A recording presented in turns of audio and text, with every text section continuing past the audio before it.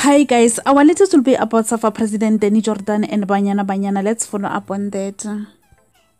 We thought SAFA was going to give Banyana Banyana 9.2 million after they won WAFCON competition, but it turns out they will only be offered 800,000. Danny Jordaan says there was miscommunication and misunderstanding with this whole issue.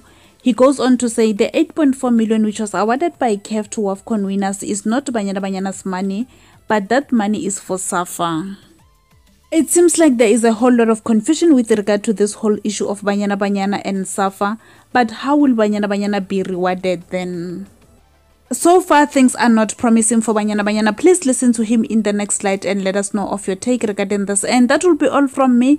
Thank you so, so much for tuning in. I'll see you again next time. Bye. Nothing are- has moved. Yeah, of that. course, and we understand that. What we are seeking clarity on is, uh, is the money that's gonna come. I mean, the pri- there's the prize money, and then Which is, that- which is how much? which is uh, eight point eight point four million. No, no, no. Mr. no, President. I think No, what no. we're asking is, No, is the 9.2 no, no, no. independent from the prize money? The 9.2 is clear. Is it independent? So, so, from so the from? SAFA.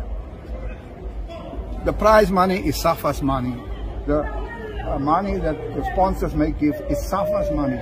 They can't give money to the players. They So, give it to SAFA. so is the 9.2 also uh, with the 8.4 from CAF? Look, let me tell you. Okay.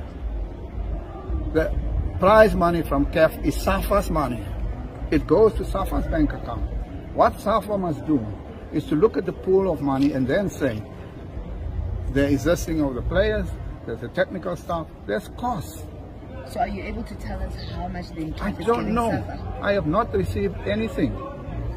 We have not received anything. And the other thing is, you convert the dollars into rands, and you know, the prize money in CAF is expressed in dollars, not in rands.